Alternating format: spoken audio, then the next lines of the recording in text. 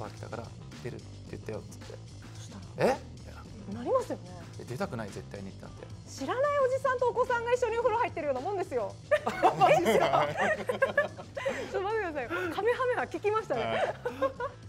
なんでできないこんなギリギリのトラウトってとこで笑いながら喋れんのこいつらみたいな。うわちょっと聞いてみるとまたなんか違う。なんか一緒に戦ってくれてるみたいな。すごい気になってたのであの涙はあれちょっときますよね。思い出してもなんか来ちゃうんですけど。プロ野球戦力外通告。番組を毎年欠かさず見ている大ファンの私上田まりえがその舞台裏を聞いちゃいます。さあでは当時の映像です。どうぞ。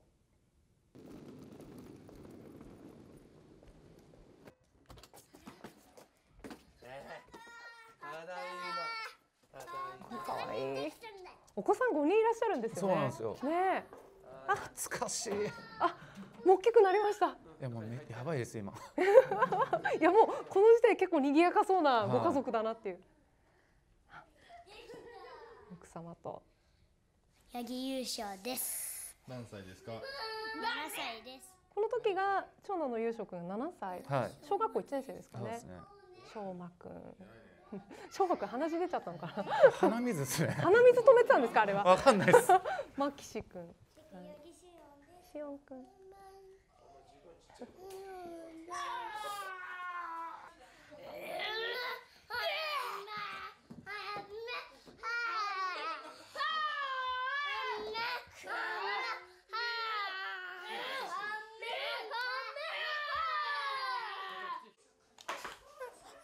なんて言ったってだってね長女のジュリアちゃんが生まれてまだ7ヶ月はねこの年に生まれたばっかりだったんですもんね。キャッチボールの人数がいっぱいいていいですね。い今やっとちゃんとキャッチボールがみんなとできるようになったんでえー、楽しいですねそうなんだ。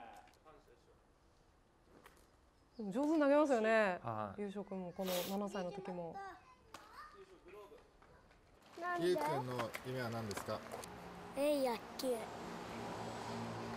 じゃあどこ行きたいなっていうのがあるの？日本ハムとオリックス。そうなの？どっちが好き？オリックスと日本ハム日本ハム。なんで？だってオリックスは。えっ、と、新しい人が入ってきたらすぐ辞めさせられるから。素直な素直なあれっすね 素直な感情っすね今いやでもやっぱりよく見てるってことですよね。ああいう言葉が出てくるってそうですねことは。はねそのお父さんのことだけじゃなくて、はいチームのことも分かってるってことですもんね。パパ野球クビになっちゃったけどまた野球入ったら他の人より三振を多く取って最後まで投げ続けて他の人のキャプテンになり続けてください。応援してるからね。OK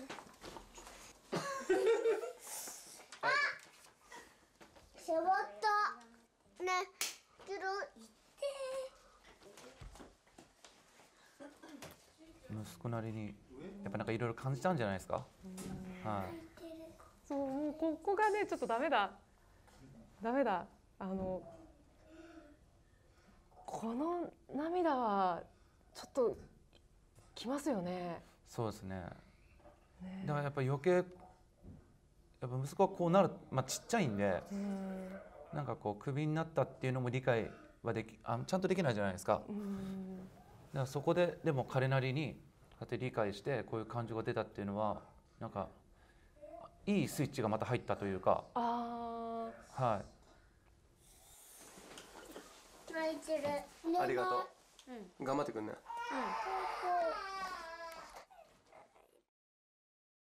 ーいやちょっとあの涙は現場で見てた根本ディレクターにはどう映りました？いやあの僕も泣いてました。あ撮りながら、はい。いやあれちょっときますよね。思い出してもなんか来ちゃうんですけど。どうですか？はい。なかなか人のお家見ることないじゃないですか、、はいくら仲が良くても、はい本当普通に考えてですよはいいやちょっとっっていうという方が多いんじゃないかないやちょっと。との方だったんですよ。あですよね。はあよかった奥さんはうんいいよじゃなかい。いったんですね。それ僕だけでした。そうなんですよ。えだってちょっと待ってください。じゃあ奥さんの判断を仰ぐ前にいやそうそうあでももう OK したんですよ。ダメじゃないですかそんな。えそしたらもうやるしかないじゃないですかい。やいやいやいやいやいやまずね相談しまでしょうよ。その後に電話したんですよ。え？ちょっと番組でこれこういうのがあって、あのオファー来たから出るって言ったよって言って、そしたら？え？みたいな。なりますよね。え出たくない絶対にってなって。で最終的にはどのタイミングで奥さんいいよって言ってくれるようになっいや多分まあうちに密着来てくれるじゃないですか。か。はいでそれで根本さん来られて、まあ、何回から来てるうちになんか嫁もなんか根本さんの人柄とかじゃないですけど、まあ、子供も心すぐ開きましたし、まあ、そこからですよね本当に初めて家に行った時のことは覚えてますか？あ覚えてますどんな感じでした？はい。ひとまずお子さんたちが元気すぎて もうあの人見知り全くしないんですよへえすごい。それでさっきカメハメハあの、はいやってたんですけど、はい。あの次男翔馬くんあとマキシくんしおんくんですか？はい。もう家に行った瞬間カメハメハを多分全員からはい。1時間ぐらい受け続けて 大変です。じゃあもうはいずっと倒れてたんですね。え根本ディレクターがカメハメハを受け続けてた1時間っていうのは八木さんは何してらっしゃったんですか？もうテレビ見てましたかね多分そうですよね普通に休憩してるじゃないですか。はいそうですねあの行った日にセーターに穴開きましたね僕 ちょっと待ってくださいよ。カメハメハ聞きましたね。やばいですねすごいな。いやもうなんかパワフルなね、はいご家族ですよね。いやもうみんないい子たちで本当に密着していただいて、練習してで家帰ってきてでその、まあ、家のなんですか、まあ、家族がいて、はいである程度撮り終わってまた帰られてまた朝来られるんですよ。あまたあ来られる。超大変じゃないですか。はい。うん。でずっと僕思ってて、はい。でネモさんに「でも朝また来られるんだったらもう泊まっていってくださいよ」って話をして。そうですよね。そうそうです「えマジっすか?」みたいな「いやマジいいっすよ」って話をして。いやえっとあのすみません。あの普通だったら、い、やちょっと来られる面倒くさいな。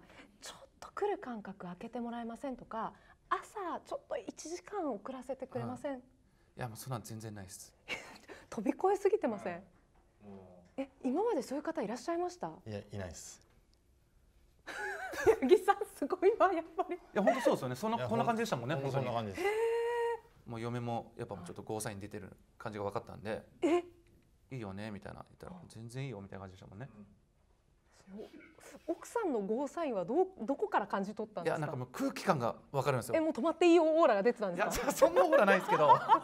さすがに。どういうこと。なんかこう最初こうテレビあ。カメラ入るじゃないですか。だってねの時のこのちょっとこのなんですかあ。あっていう感じからカメラからこうちょっと外れてやろうみたいな。感じからちょっとこう変わってきた感じの雰囲気も分かるじゃないですか。はい。泊まっていいでしょみたいないや全然いいんじゃない？みたいなで子供たちもすごい懐いてたんで、あまあ、こっちとしては相手しなくていいじゃないですか正直。子供。の楽できるずっとカメラ打たれてるんで。そうですよね、はい。自分がテレビゆっくりあ見られるそうなんですよ。で息子と風呂入ったんですよね。はい。嘘、もう多分うちの子は友達だと思ってたんで根本さんのことを。はい。根本さんお風呂入るみたいになったら俺も入るみたいな感じで多分入ったんですよね。はそこ止めなかったんですか？止めないですだって知り合ってまだ数日ぐらいしか経ってないわけですよね。関係ないじゃないですかそんなの。いやだって知らん知らないおじさんとお子さんが一緒にお風呂入ってるようなもんですよ。えそこって気にするんですかね？いや普通気に気にしますよね。気にしますよね。ねえ。いやうち全然気にしないですね。すごいな。あはい。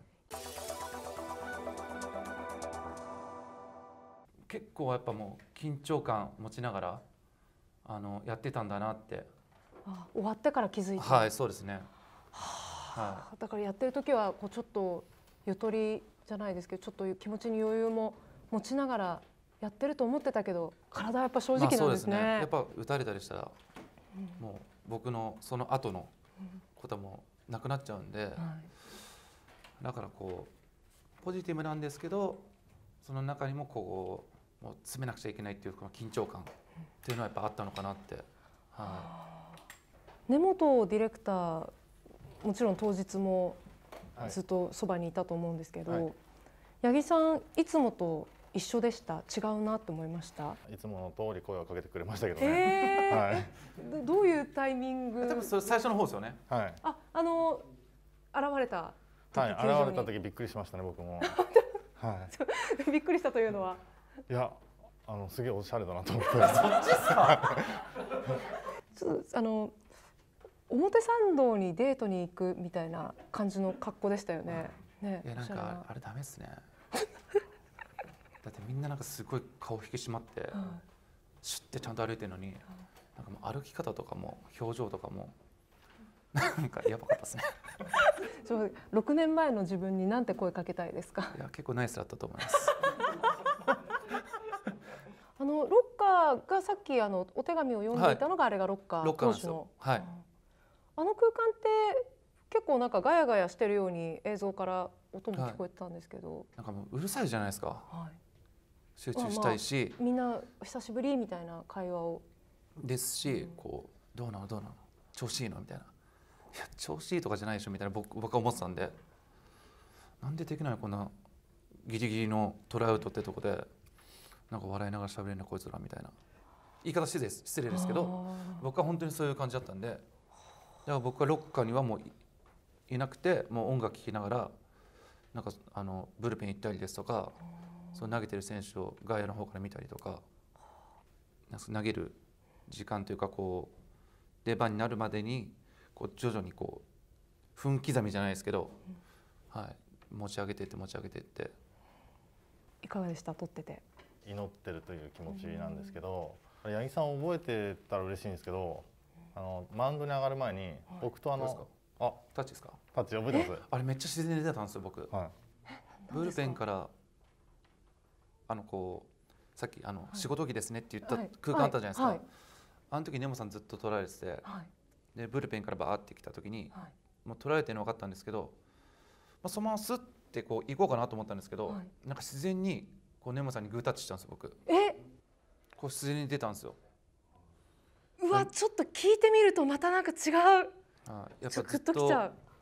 なんかこう密着していただいてだったのでなんかこうプレイヤーは僕ですけど、なんか一緒に戦ってくれてるみたいなすごい気になってたのでなんかこう普通に集中しながら行こうと思ったんですけど自然に出たっていうか。帰りはそれぞれ？多分一緒に帰ったんですよ。一緒です。はい。あそこ？も う待ってくだなんか。さいあの一応、すみません。念のため確認しとくんですけど、ホテルは一緒に泊まってないですよね。ホテルどうですか？部屋ってことですか？はい。それはさすがにないですよ。よかった。よかった。もうちょっと今の勢いだともうなんか泊まっててもおかしくないんじゃないかぐらいのちょっと。そこ、たらやばくないですか？えー改めて今思い返してみて、はい。トライアウトとはどういう場所でしたか？できるかできないかの瀬戸際でもそうでしたし、まあでもなんか僕の中ではあのこう絶対お話あるってもう信じてやってたので、なんかすごく今のお話聞いてて感じたのが何でしょう。適切なちょっと言い方じゃないかもしれないんですけど、八木さんのこの戦力外通告の映像って暗さとかうん。悲壮感うん。っていうものがなんかななくて。なんかこうものすごく本当にこうパワーをこうもらえるような。はい、でそれが多分視聴者の方にも伝わって八木さんの回は反響が大きかったんじゃないかなと。まあまあそうやって言っていただければ本当ありがたいです。これドキドキしますよねこのタイミングの電話。こんなことあるんだっていや思っちゃう嘘だろって言いましたもんね僕あいつに。でもこれリアルこれ本当当にリアルな感情だったんですよ。えその日止まったんですか？うちですよね。